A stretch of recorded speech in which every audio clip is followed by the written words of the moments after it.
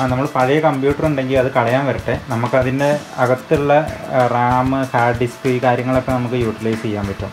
അപ്പോൾ ഇത് എന്റെ ഒരു കേടായ എച്ച് പിന്റെ ഒരു പഴയ ഒരു പത്ത് വർഷമായി ഓൾമോസ്റ്റ് അപ്പോൾ അതിന്റെ ഒരു കമ്പ്യൂട്ടറാണ് പഴയ മോഡലാണ് അപ്പോൾ നമുക്കതിന്ന് ഊരണം. എന്നിട്ട് ആ ഹാർഡ് ഡിസ്ക് റാമൊക്കെ എടുക്കണം. റാം ഞാൻ ഓൾറെഡി എടുത്തതാണ്. അപ്പോൾ ഹാർഡ് ഡിസ്ക് നമുക്ക് എടുക്കണം. എന്നിട്ട് നമുക്കൊരു എക്സ്റ്റേണൽ ഹാർഡ് ഡിസ്ക് എങ്ങനെയാണ് ആ, ഉണ്ടാക്കുക എന്നുള്ളതാണ് നമ്മൾ ഇന്നത്തെ വീഡിയോയിൽ പറയുന്നത്. അപ്പോൾ അതിന് വേണ്ടിയിട്ട് നമ്മൾ ആ കമ്പ്യൂട്ടർ ലാപ്ടോപ്പ് എടുത്തിട്ട് ടേബിൾ വെക്കണം. അത് റിമൂവ് ചെയ്യണം. അപ്പോൾ ഫസ്റ്റ് അതിന്റെ ബാറ്ററി ഊരണം.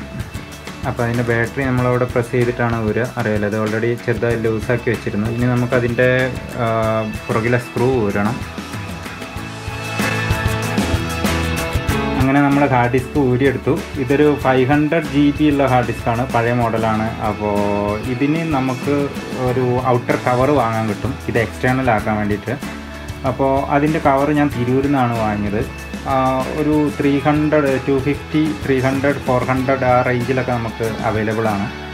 അപ്പോൾ ആ ഒരു കവർ ഞാൻ വാങ്ങിയത് ത്രീ ഫിഫ്റ്റി ആ റേഞ്ചിലാണെന്ന് തോന്നുന്നു. കുറച്ച് മുമ്പ് വാങ്ങിയതാണ്.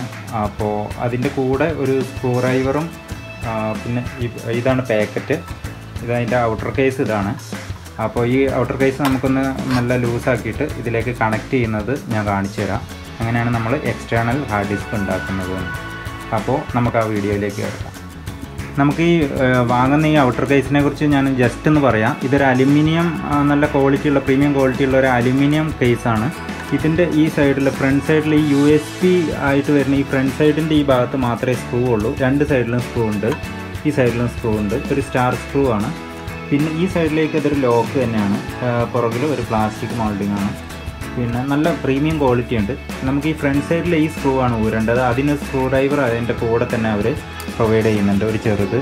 അപ്പോൾ നമുക്കത് ഊരിയെടുക്കാം. എന്നിട്ട് ഈ യു എസ് പി ഉള്ള ഈ ഒരു പോർഷൻ നമുക്ക് ഊരിയെടുക്കണം. എന്നിട്ട് നമുക്ക് ആ ഇന്റേർണൽ ഹാർഡ് ഡിസ്ക് നമ്മുടെ ലാപ്ടോപ്പിൽ നിന്ന് ഊരിയത് ഇതിനകത്ത് നമുക്ക് പ്ലേസ് ചെയ്യണം. അപ്പോൾ അത് ഞാൻ കാണിച്ചു തരാം നമുക്ക് ജസ്റ്റ് ഈ സ്ക്രൂ ഒന്ന് രണ്ട് സൈഡിലെ ഊരിയെടുക്കാം.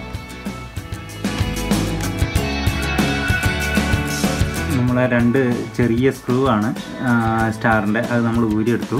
ഇനി നമുക്ക് ഇതിന്റെ പുറകിലെ യു എസ് ടി വരുന്ന ഈ പ്ലാസ്റ്റിക് മൗണ്ട് നമുക്ക് ഊരിയെടുക്കാം. ഇവിടെ നമുക്കൊരു കണക്ഷൻ കാണാം. മെയിൽ ടു ഫീമെയിൽ ആയിട്ട് ആണ് നമ്മളിത് കണക്ട് ചെയ്യേണ്ടത്. അപ്പോൾ ഈ ഒരു പോർഷൻ നമ്മൾ ഊരിയെടുത്തിട്ട് നമ്മളെ ഈ നമ്മൾ ഊരിയെടുത്ത ഹാർഡ് ഡിസ്ക് അതിലേക്ക് നമുക്ക് കണക്ട് ചെയ്യണം. അത് ഞാൻ കറക്റ്റായിട്ട് കാണിച്ചു തരാം. ഇതിൽ നമുക്ക് ഹാർഡ് ഡിസ്കിന്റെ ഈ ഭാഗം നമ്മൾ ശ്രദ്ധിച്ച് നോക്കുകയാണെങ്കിൽ ഈ കണക്ഷന്റെ ഈ ഭാഗത്തായിട്ട് ഞാൻ ക്ലിയർ ആയിട്ട് കാണിച്ചു തരാം. ഇതിൽ നമുക്കൊരു ചെറിയൊരു ചെറിയൊരു മാർക്കിംഗ് നമുക്ക് കാണാൻ പറ്റും. ഇവിടെ ഒരു സൈഡിൽ കൂടുതൽ പിന്നും നമുക്ക് ഈ റൈറ്റ് സൈഡിലായിട്ട് കുറച്ച് പിന്നും കാണാം. ഇടയ്ക്കായിട്ട് ഒരു ചെറിയൊരു കട്ടിങ് കാണാം. അതേപോലെ നമ്മൾ ഈ കണക്ഷൻ ചെയ്യേണ്ട പോർഷൻ അവിടെയും അതേപോലെ തന്നെ നമ്മൾ ഒരു ഒരേപോലെ തന്നെ നമ്മൾ ആദ്യം വെക്കണം. അതിനുശേഷം നമ്മൾ അത് കണക്ഷൻ കറക്റ്റായിട്ട് മെയിൽ ടു ഫീമെയിൽ ഇൻസേർട്ട് ചെയ്യണം.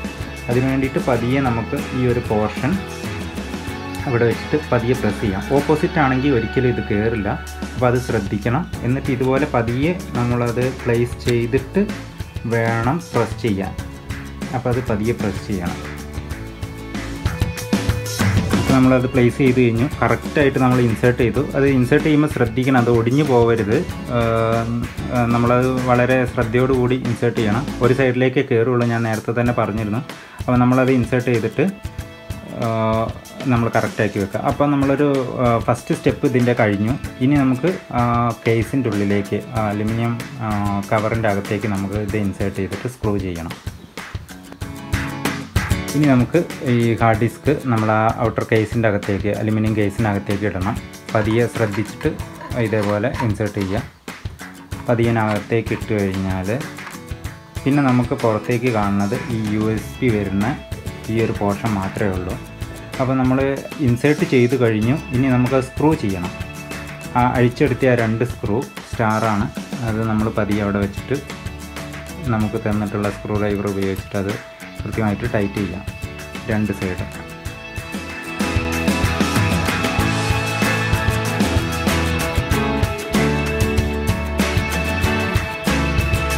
ആവശ്യത്തിന് ടൈറ്റ് ചെയ്യുക അധികം ടൈറ്റ് ചെയ്തിട്ട് നമ്മൾ അത് പൊട്ടിക്കേണ്ട ആവശ്യമൊന്നുമില്ല.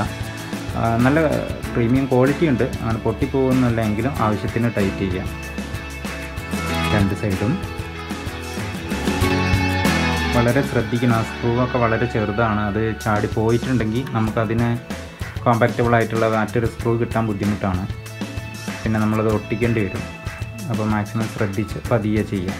അപ്പോൾ നമ്മൾ ആ ഹാർഡ് ഡിസ്കിന്റെ ആ വർക്ക് കഴിഞ്ഞു നമുക്ക് ഇത് കണ്ടോ? നല്ലൊരു ലുക്കിൽ നമുക്കൊരു അടിപൊളി എക്സ്റ്റേണൽ ഹാർഡ് ഡിസ്ക് ആയിട്ടുണ്ട്. നമ്മൾ പഴയ ലാപ്ടോപ്പ് കമ്പ്യൂട്ടറൊക്കെ കളയുന്നതിന് മുമ്പ് ആ ഹാർഡ് ഡിസ്ക് നമ്മൾ ഊരിയെടുക്കുക. പലർക്കും അറിയുന്ന കാര്യം തന്നെയായിരിക്കും. പക്ഷേ ഇത് ഞാൻ തിരൂരിൽ നിന്നാണ് വാങ്ങിയത്. ഇതിന് ഏകദേശം ത്രീ ഫിഫ്റ്റി ആ റേഞ്ചിലാണെന്നാണ് ഞാൻ വിശ്വസിക്കുന്നത്. ഞാൻ മറന്നു പോയിട്ടുണ്ട്. കുറച്ച് മുമ്പ് വാങ്ങിയതാണ്. ഒരു ടു ഫിഫ്റ്റി മുതൽ നമുക്ക് ഫോർ ഹൺഡ്രഡ് ഫൈവ് ഹൺഡ്രഡ് വരെ നമുക്ക് ക്വാളിറ്റി അനുസരിച്ചിട്ട് വാങ്ങാൻ പറ്റും. അപ്പോൾ ഇത് നല്ലൊരു ഇത് പ്ലാസ്റ്റിക് അല്ല. അലുമിനിയാണ് ഞാൻ നേരത്തെ പറഞ്ഞിട്ടുണ്ടായിരുന്നു. പിന്നെ ഇതിന്റെ സ്പീഡ് ഉണ്ട്. നമ്മൾ കൂടുതൽ റേറ്റ് കൊടുത്ത് വാങ്ങുമ്പോൾ ഇതിന്റെ ഡാറ്റ ട്രാൻസ്ഫറൻസ് സ്പീഡും കുറച്ച് വ്യത്യാസം ഉണ്ടാവും. ഇത് അത്യാവശ്യം നല്ല സ്പീഡ് ഉള്ളതാണ്. നമുക്കിവിടെ അതിന്റെ മെഷർമെന്റ് ഒക്കെ കാണാൻ പറ്റും.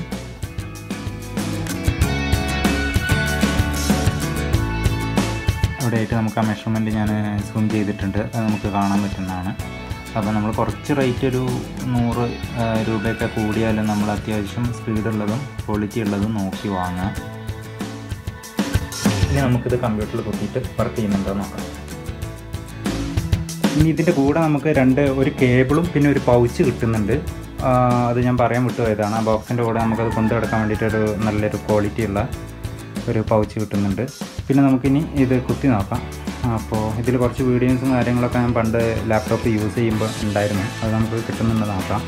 പിന്നെ ഇതാണ് അതിന്റെ കൂടെ കിട്ടുന്ന U S B to U S B തന്നെയാണ്. അത് നമ്മുടെ കമ്പ്യൂട്ടറിന്റെ യു എസ് പി ബോട്ടിൽ നമ്മൾ കണക്ട് ചെയ്യാം.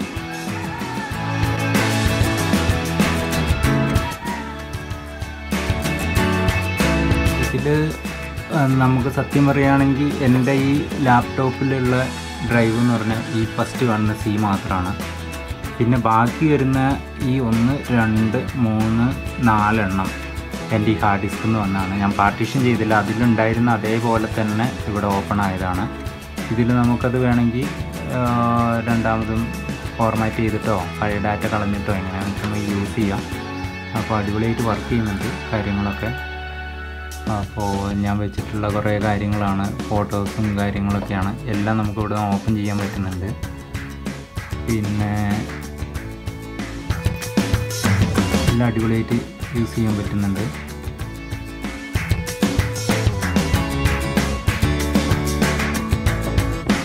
ഇത്രയേ ഉള്ളൂ.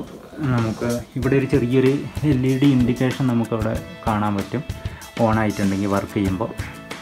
അപ്പോൾ ഇത്രയാണ്. നമുക്കൊരു അടിപൊളിയായിട്ട് ഒരു ഹാർഡ് ഡിസ്ക് എക്സ്റ്റേണൽ നമുക്ക് ഉണ്ടാക്കാം ചിലവർക്കൊക്കെ അറിയുന്ന കാര്യം തന്നെയായിരിക്കും. അറിയാത്തവർക്കായി നമ്മൾ പഴയ കമ്പ്യൂട്ടറോ ലാപ്ടോപ്പോ ഉണ്ടെങ്കിൽ ഇങ്ങനെയൊന്ന് ചെയ്ത് നോക്ക്. നമുക്കൊരു മാക്സിമം ഫോർ ഹൺഡ്രഡ് ആണ് നമുക്ക് ഇതിന് വേണ്ടിയിട്ട് കോസ്റ്റ് വരുന്നത്. പക്ഷെ നമുക്ക് ആ പഴയ ഡാറ്റയൊന്നും കളയേണ്ട ആവശ്യമില്ല. പിന്നെ അതിന്റെ ആവശ്യമില്ല. നമുക്കത് യൂട്ടിലൈസ് ചെയ്യാം. നമുക്കൊരു ഫ്യൂച്ചറിലേക്ക് വേണ്ടിയിട്ട് യൂട്ടിലൈസ് ചെയ്യുകയും ചെയ്യാം. അപ്പോൾ എല്ലാവരും നമ്മുടെ ചാനലൊന്ന് സബ്സ്ക്രൈബ് ചെയ്യുക. ഒന്ന് ഷെയർ ചെയ്യുക.